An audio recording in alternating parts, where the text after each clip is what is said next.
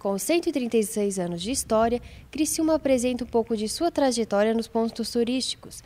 Com características que marcam a cultura e a religiosidade, os locais recebem visitantes de toda a região. Em uma iniciativa do Departamento de Turismo da Fundação Cultural, um levantamento de locais que precisavam de reparações foi realizado. E no início de 2016 começaram as revitalizações. E a gente vai trabalhando aos poucos e não é tão somente tu repaginar o ambiente, tu tem que fazer toda a manutenção, todo o cuidado. E eu estou sempre vistoriando para ver como estão as coisas. O primeiro local a receber a repaginação em 2016 foi a Gruta Nossa Senhora de Lourdes.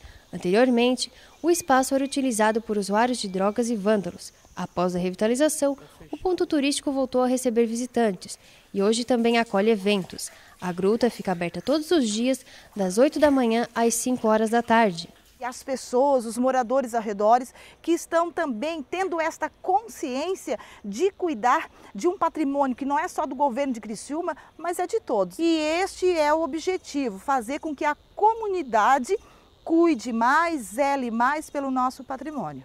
Em meio à vegetação nativa está localizado o Parque Ecológico José Milanese, além do memorial Nona Maria Giovanna Dário Milanese.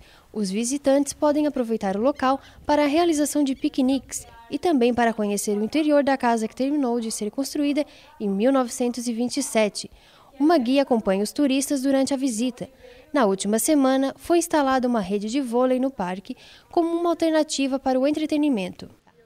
Além da Gruta Nossa Senhora de Lourdes e do Parque Ecológico José Milanese, a Praça Nereu Ramos, no centro de Criciúma, está sendo revitalizada. Depois disso, o Departamento de Turismo da Fundação Cultural de Criciúma segue para a Praça da Chaminé e também para a Casa do Agente Ferroviário Mário Guise. Uma importante obra foi realizada em 2015. O Museu Augusto Casagrande recebeu a instalação de uma rampa de acesso e elevador. Com acessibilidade para todos, houve um aumento de 50% nas visitações. O local, que já contava com visitas semanais de escolas da cidade, agora também recebe grupos de terceira idade e exposições artísticas. Porque a gente tinha um problema aqui de acessibilidade. Depois que foi desenvolvido esse projeto, ah, agora a gente consegue ah, suprir umas necessidades que o museu antes tinha. Ou seja, a parte de idosos, que a gente tem a escadaria, ela é muito íngreme e isso dificultava o acesso ao piso superior. É, foi uma ideia excelente e espero que continue assim, porque esse ambiente aqui é legal, é, é bem central e tem espaço físico para fazer exposições aí fora, no pergolato. O Memorial Dino Gorini foi criado para homenagear as etnias italiana, alemã, polonesa, portuguesa e negra. O local estava fechado há mais de cinco anos por problemas nas estruturas.